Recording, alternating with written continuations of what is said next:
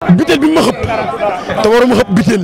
ba pare fexe ba Balla génn géew te bu fexe ba sama grand génn géew gi bagage sax bi ma koy def bi ma koy def man xaw ma xaw ma nan la bagage yi demee waaye nag yàlla sunu borom maa ngi tala yàlla sunu borom bu baax.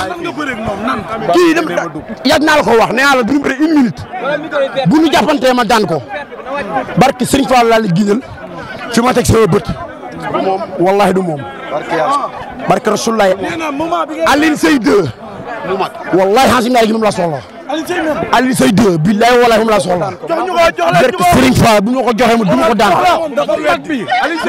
bi ngay moment bi ngay def action ma du ma ko daan dama teg aas yéen ngeen seetaan tegul dara mais kan moo teg aas léegi grave may nañ ko ko waaw maa ngi sant autorité yëpp di sant képp bool bool maa ngi lay sant gis nañ waaye waay dana gis nga bëri xol.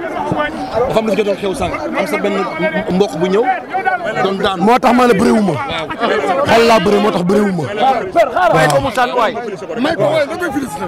merci waaw tax jërëjëf jërëjëf waaw. Ah. booy xool. waaw xool laa bëree. dëgg la ba nga xamante ni mënu maa bëree. gis naa loolu waaw. maire Colobane ñëpp a ciy jàpp. ñëpp maa leen di sant képp ku di bawal bawal ñu ngi lay sant.